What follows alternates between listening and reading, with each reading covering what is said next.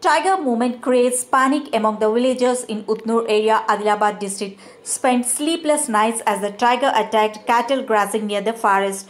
Forest officials issued a tiger alert in the Chimanyak Tanda of Utnur Mandal, Telangana. As tiger pugmarks were discovered in the region, forest officials have urged the farmers not to venture into the cotton fields alone and requested them to temporarily avoid letting their cattle roam freely. They cautioned locals that any harm or electrocute the tiger would lead to serious consequences, including legal action and imprisonment.